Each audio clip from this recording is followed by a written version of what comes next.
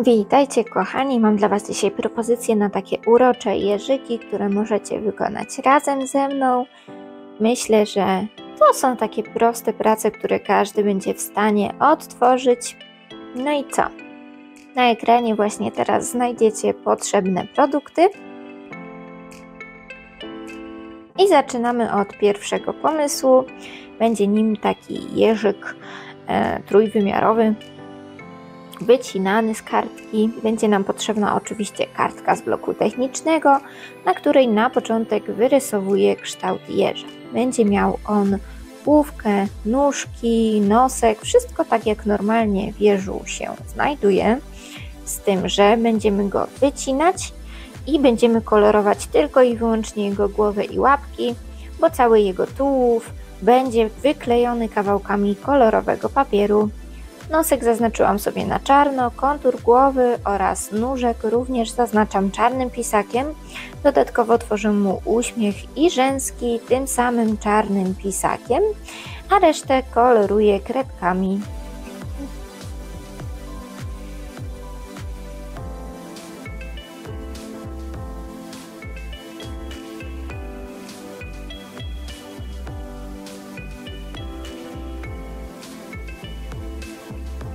Wzięłam sobie taką jasno-żółtą kredkę, taką troszkę cielistą i koloruję całą główkę oraz nóżki. Następnie postanowiłam dodać jeszcze e, troszeczkę przyciemnień, takich cieni w niektórych miejscach, które tworzy po prostu brązową kredką.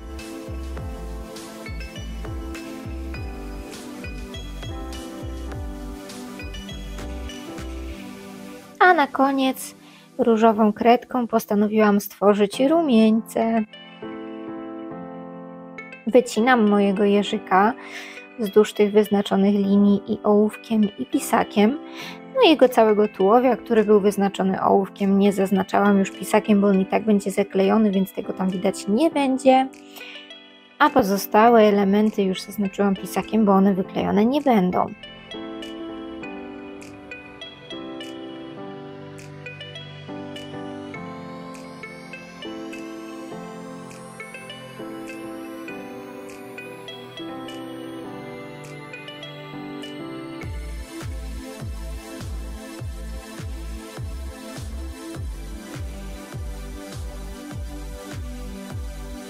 Wycięty jeżyk na razie ląduje na boku, a teraz czas na przygotowanie paseczków, z których będzie stworzony jego brzuszek, jego igiełki.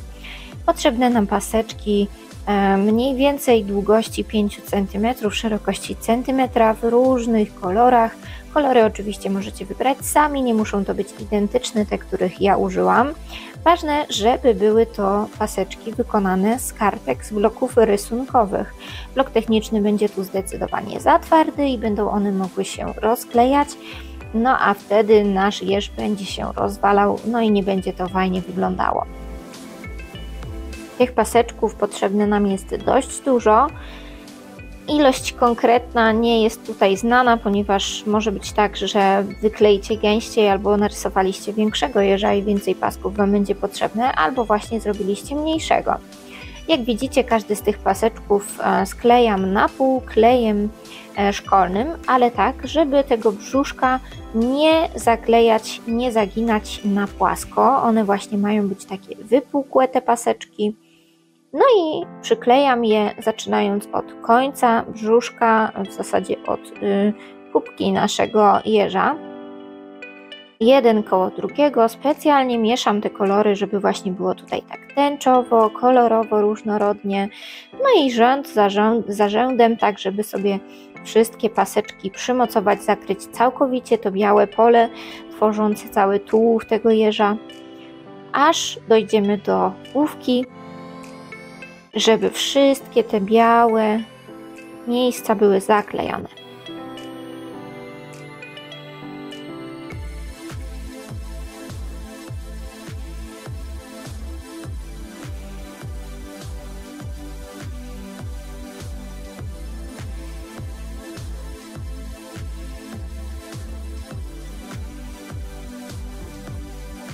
Wszystkie kawałki już przyklejone, a nasz jeż prezentuje się tak Czas na drugiego uroczego jeżyka. Tym razem będzie to praca na płasko. Będzie nam potrzebna biała kartka z bloku technicznego e, i kolorowe paseczki, tym razem takie cieniutkie, szerokości pół centymetra, długości około pół centymetra, 5 cm, szerokość pół, wysokość 5 cm. I tak e, przygotowuję sobie paseczki w różnych kolorach, w dużej ilości. Będę je przyklejać przy pomocy kleju szkolnego. E, tutaj jeszcze na białym kawałku z bloku technicznego wyrysowuję sobie koło przy pomocy cyrkla, które następnie wycinam. Będzie ono tworzyło głowę naszego jeża.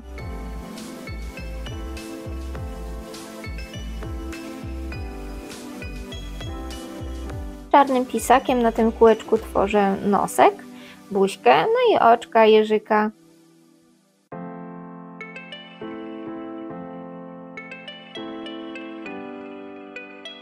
Troszeczkę go podkolorowuję, taką cielistą kredką całość, a różową kredką policzki, które będą posiadały rumieńce.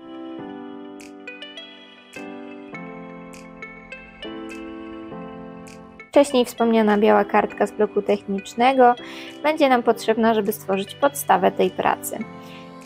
Rozcinam sobie ją na pół.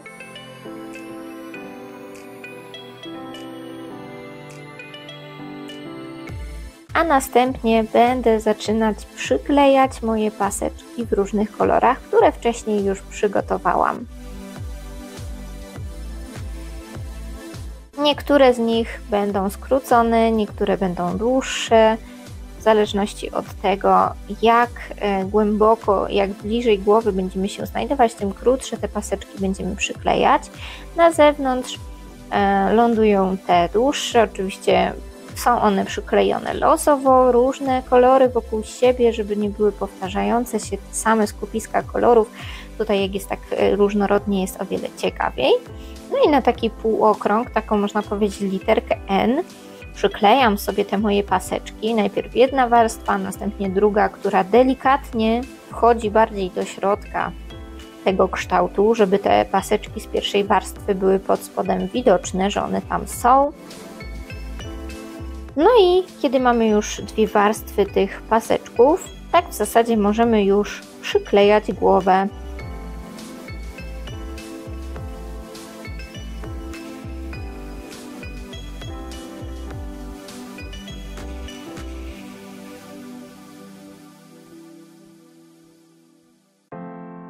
Na środku nakładam troszkę kleju szkolnego i przyponsowuję głowę mojego jeża do tego właśnie sklejonego elementu. Dodatkowo wyrysowuję jeszcze łapki mojego jeża, na początek ołówkiem, a następnie poprawiam ich kontury czarnym pisakiem.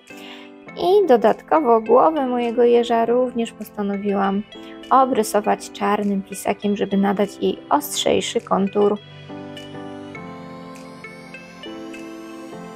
Brązowym mm, kolorem, brązową kredką koloruję łapki, które wcześniej narysowałam. I postanowiłam, że jednak tę moją białą kartkę troszeczkę skrócę, będzie ona bardziej kwadratem niż takim wysokim prostokątem, żeby ten jeż zajmował jej całość. I tak przygotowaną kartkę podklejam jeszcze na różowym papierze przy pomocy taśmy dwustronnej, w taki sposób, żeby z każdej strony tego białego papieru wystawała odrobina różowego spod spodu i tworzyła taką ramkę kolorystyczną. Myślę, że wygląda to naprawdę super. No i zaraz nasza druga praca plastyczna będzie gotowa.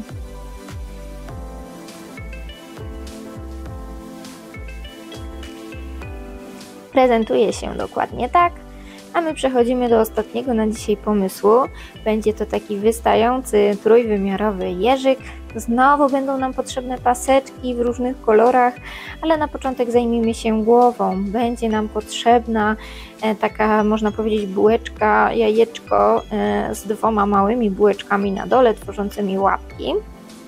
Kontury zaznaczam sobie czarnym pisakiem, a następnie zabieram się za kolorowanie tego kształtu. Jeszcze dodaję nosek na środku, oczka i już bardziej przypomina to jeża niż te bułeczki w różnych rozmiarach.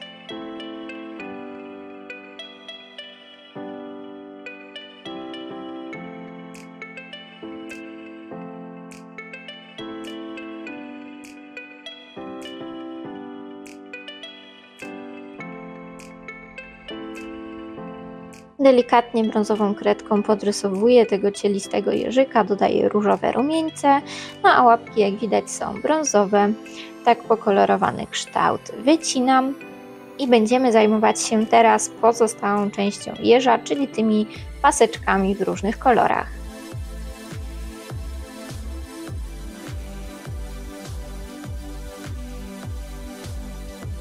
Wycinam sobie paseczki o szerokości centymetra, długości około 15 cm.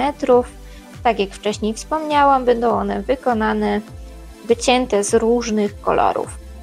Ważne, żeby był to blok rysunkowy, żeby one nie były zbyt sztywne i łatwo nam się tutaj sklejały klejem szkolnym. Tutaj miałam dłuższą kartkę, dlatego za chwilę te paseczki będę rozcinać. One byłyby po prostu za długie, żeby stworzyć z nich te igiełki jeżyka. Nie jest też powiedziane, że one wszystkie muszą być tej samej długości. Po prostu wykorzystałam ścinki, które gdzieś tam po jakichś innych pracach mi pozostały, a szkoda było mi je wyrzucić. Czas na sklejanie paseczków, każdy z nich sklejam za końcówki przy pomocy kleju szkolnego, ale nie zaginam na brzuszku, tak żeby właśnie on był odstający. No i na środku mojej białej kartki, którą już wcześniej sobie tu przygotowałam, wyklejam te paseczki tak, żeby tworzyły mniej więcej półkole. One się zawijają w lewo i w prawo po obu stronach kartki i też przyklejam je warstwowo. Po tym pierwszym, e, po pierwszej warstwie paseczków będzie druga mniejsza z paseczków, które jeszcze rozcięłam na krótsze, żeby one tworzyły mniejsze brzuszki i taka druga warstwa ląduje właśnie w środku tego e, stworzonego kształtu.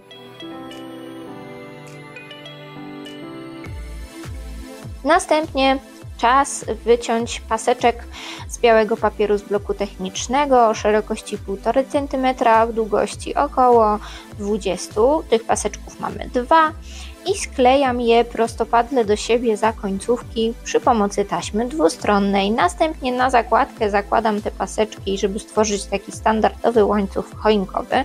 Będzie to taka harmonika, która stworzy nam element trójwymiarowy, taki odstęp głowy od reszty kartki. Następnie tak stworzoną harmonikę przyklejam przy pomocy taśmy dwustronnej do mojej kartki, a następnie kolejnym kawałkiem taśmy dwustronnej sklejam tę harmonikę z głową mojego jeżyka. Tutaj również stwierdziłam, że ta kartka jest za wysoka i docięłam ją bardziej na kwadrat, żeby było mniej tej białej przestrzeni wokół jeżyka. I tak samo jak w przypadku poprzedniego pomysłu, postanowiłam podkleić ją tym razem na błękitnym papierze, żeby stworzyć taki akcent kolorystyczny. Nasza kartka jest już prawie gotowa, jeszcze tylko podkleimy sobie ten element z jeżem na błękitnym papierze, docinamy krawędzie wokół tego białego papieru, tak żeby około pół centymetra z każdej strony wystawało niebieskiego spod spodu.